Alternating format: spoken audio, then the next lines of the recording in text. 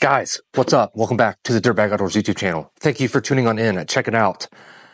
This is going to be fun. This is going to be a lot of fun, and I'm, I'm, we're going to go over it right now. We're going to get it to the range, and this is going to be kind of a project, kind of a before and after. I looked through the footage. I thought I had some footage of the the true before.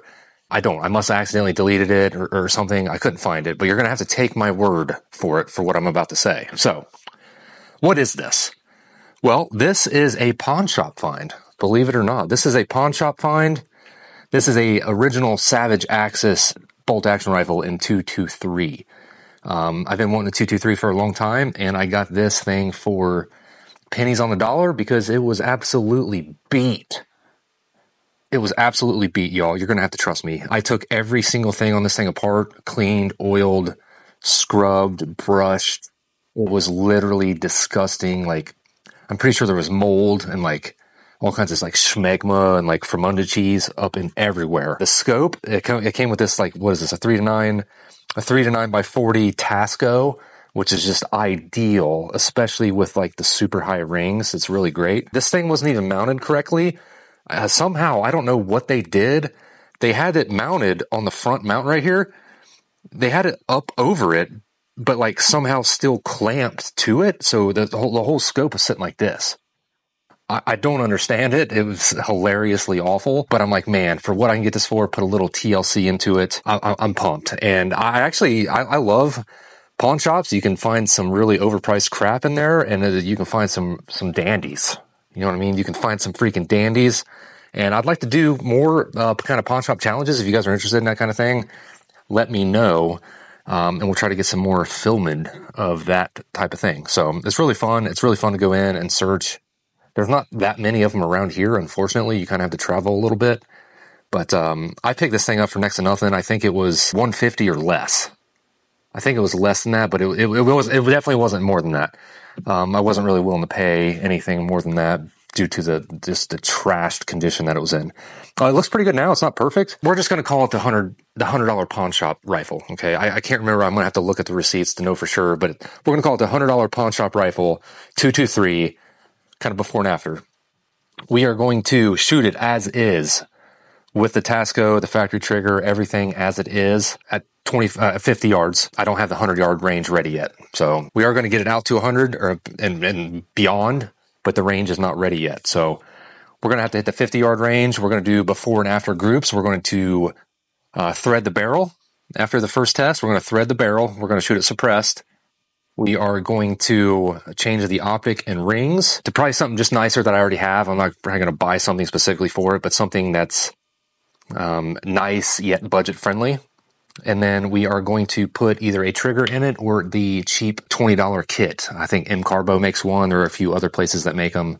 It's literally just some springs. They're pretty easy to put in and they make a world of difference because from the factory, these triggers are very, very firm. Uh, but yeah, guys, let's go ahead and get the first test underway. I'm going to bring a few different types of ammunition, different 223, some steel case, some brass case, which I'll show you guys once we get to the range. Stay tuned for part two after we shoot it today, and I'll see you in a minute.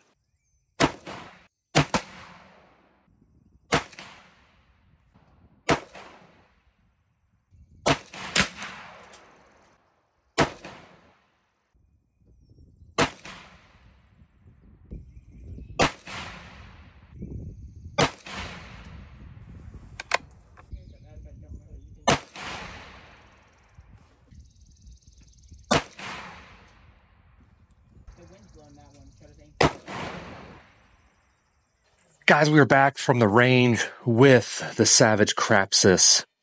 Maybe, maybe that's what we should call her, the Crapsis. The $100 pawn shop rifle. We're back from the range. It's maiden voyage. How did it do? Well, I learned a lot. Um, I learned a lot. I remembered how bad the factory triggers are on these. Uh, for target purposes, you know, for, you know, hunt coyote or something, I'm sure it's probably totally adequate. Um, and then the scope. There's something severely wrong in this in this region right here. It is so blurry you can't you can't focus the reticle or the target. It's both blurred. So I'm really anxious to get a different optic put on here. And of course, we're going to thread the barrel, trigger upgrade. Um, I think I, I, found a way instead of maybe spending the 20 bucks, maybe we do the a budget balling challenge on this where you can actually kind of work on the springs yourself, a little choppy cut or something like that to basically do the same thing. I don't know. I'm going to look into it.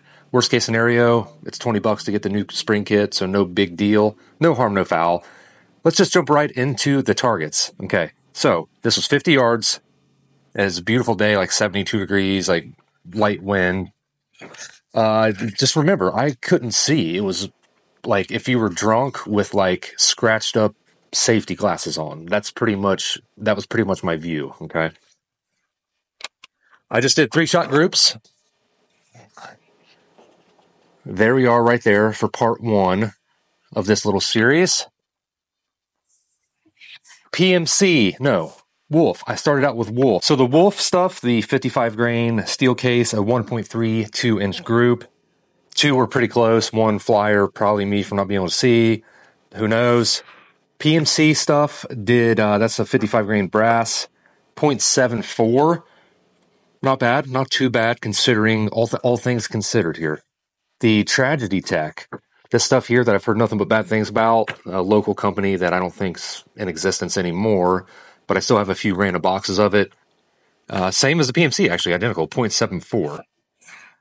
And then we tried out this stuff here, the unlimited ammo. This is their 62 grain.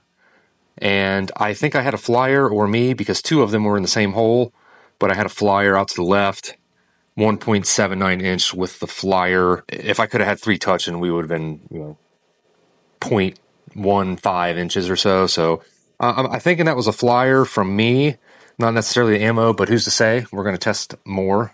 We're going to do the upgrades and and give it another try. If you guys have any other cheap upgrades suggestions for this, let me know.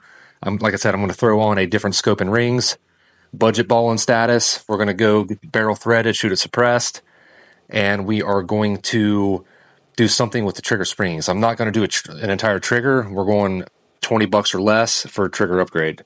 Hopefully free. Hopefully I can figure out um, how these guys are doing it, watch some YouTube videos or something. But yeah, so you guys let me know what you think about that with the, the results. I'm confident in saying that 90% of the accuracy was this scope being so freaking blurry.